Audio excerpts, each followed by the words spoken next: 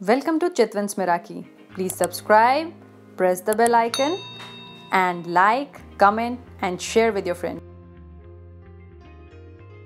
Hello and welcome to my channel Chitvansh Miraki आज मैं आपके लिए एक अलग तरीके की मिठाई लेकर आई हूँ जिसका नाम कोकोनट गुलकंदी बाइट है ये रेसिपी मुझे मेरी फ्रेंड कृति ने सिखाई थी तो सोचा कि आप लोग के साथ भी शेयर करूँ। बहुत ही कम इंग्रेडिएंट्स और बहुत ही अच्छी मिठाई बनती है ये। तो चलिए, आइए देखते हैं इसमें किन किन चीज़ों की ज़रूरत है और कितनी मात्रा में ये चीज़ें पड़ती हैं। हमें ये मिठाई बनाने के लिए इन चीज़ों की ज़रूरत है। ये जो आपके घिसे हुए कोकोनट मिलते हैं बाज़ार में, ये डेसिकेटेड कोकोनट वो मैंने दो कप लिया है। ये कंडेंस मिल्क है जो कि एक कप है। ये गुलकंद है, ये आपको अपने हिसाब से लेना है। वैसे मैंने फ़िलहाल इसे एक कप लिया हुआ है और ये थोड़ा सा मैंने करीब ये दो चुटकी आपकी हरा रंग है ताकि एक पान का कलर सा आ जाए। तो चलिए शुरू करते हैं इसे बनाना। आपको एक पैन लेना है, जिसमें आप पहले अपना कंडेंस्ड मिल्क ट्रांसफ़र करेंगे।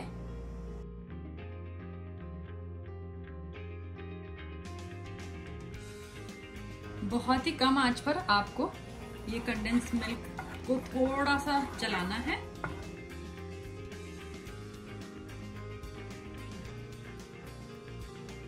हमारा कंडेंस मिल्क हल्का सा गर्म हो गया है। अब इसमें मैं ये डेसिकेटेड कोकोनट डाल रही हूँ। और आपको इसको धीरे धीरे करके इसमें अच्छी तरीके से मिलाना है इसे। आँच आपकी लो मीडियम ही होगी।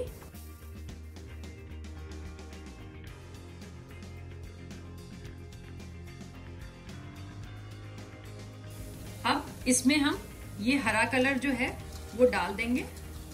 इससे हल्का हरा कलर आ जाएगा, जो कि पान का रंग देगा।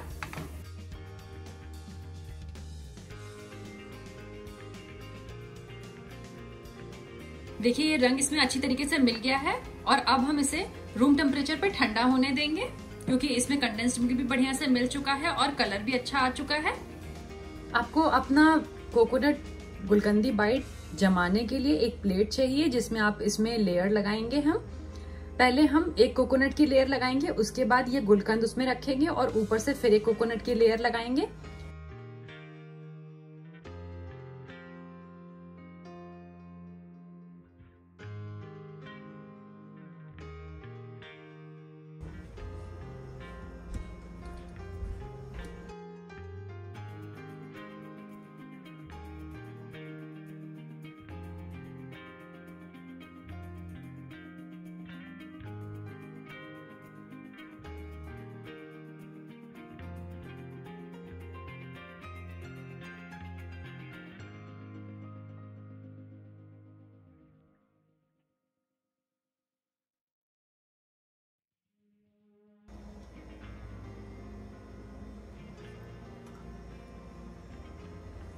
हाथों से इवेनली फैलाइए आप।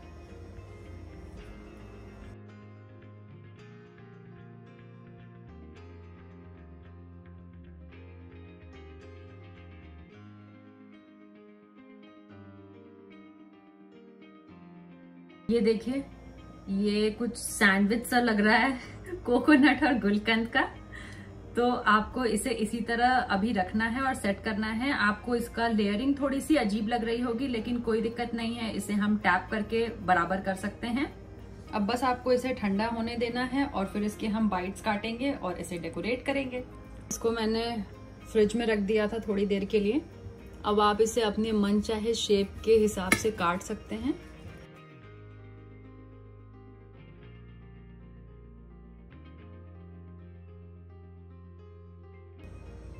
आपकी गुलकंदी मिठाई बिल्कुल तैयार है। अब आप इसे घर पर बनाएगा और प्लीज़ मुझे बताइएगा ये कैसी बनी थी। Till then bye take care मिलते हैं अपने नेक्स्ट वीडियो में।